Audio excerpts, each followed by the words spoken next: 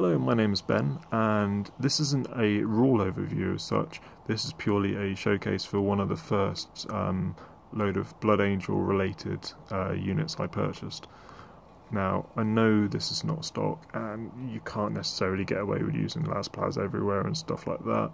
Um, but I, I just like the look of the actual vehicle, so I decided to start dry brushing with it. Um, I mean, I found ways of doing things that have suited me. Like I, in there, for example, to get that brass and to gold effect, I use the Warplock uh, brass from Citadel, then go to um, Gold, then going up to Retributor Armor.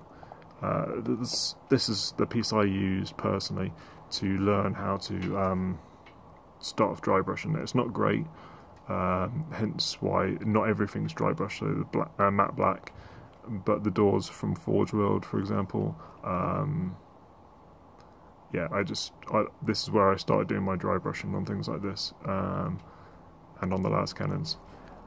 But if you're willing to put in a bit of time, um, dry brushing can be quite effective, and you won't necessarily need to use gem paints um, or powders. Now, though they can be used and can be used effectively, um, but it's not necessarily my kind of thing personally.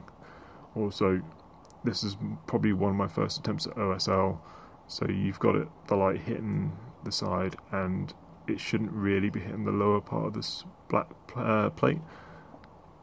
But again, it's one of my first attempts, and if I was going to do that now, I would probably avoid that. I'd probably have it cut off there and maybe catch somewhere from down here, but that's just that's just me. Um, each to their own. And yeah, anyway. Hope you have a good hobby and uh, take care.